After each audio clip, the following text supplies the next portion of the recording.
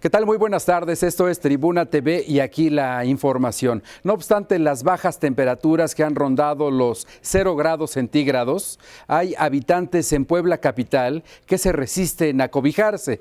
Vea esta crónica de Leonardo Torija. A pesar de que en las últimas horas el mercurio descendió considerablemente, algunos indigentes que aún duermen en las calles de la Angelópolis se niegan a descansar en el dormitorio municipal. Muestra de ello es don Marcos, un hombre de 85 años de edad que hace dos años decidió partir de su natal Veracruz en busca de nuevas oportunidades. Sin embargo, la suerte lo abandonó y todos los días pasa la noche tapado con plásticos en esta jardinera del estacionamiento de una agencia de motocicletas localizada sobre Boulevard Norte, donde por 200 pesos mensuales presta sus servicios como vigilante. Bueno, aquí me quedo. Ok. O sea que el patrón, el español, Sí. me encara que le vigile aquí las para que no venga ninguno, según abrir ellos, ¿no? Ajá, ajá. Por eso me quedo acá y dice que aquí me quede yo y me compró esas cositas para que me tapara.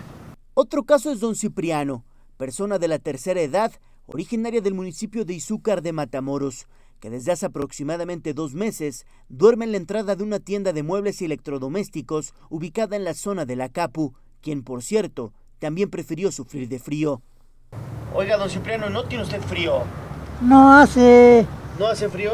no, Pero pues allá en Izúcar es caluroso, aquí es frío, ¿cómo no tiene usted frío? pues no tengo, tengo varias chamarras. Ajá. Entonces prefiere quedarse acá. Sí, gracias. A pesar de ello, personal del Ayuntamiento de Puebla todas las noches recorre las vialidades de la ciudad en busca de personas en situación de calle y en caso de que accedan son trasladadas al dormitorio municipal situado sobre la calle 16 Sur, número 3911, donde existen 16 literas para hombres, 8 para mujeres, así como baños y regaderas.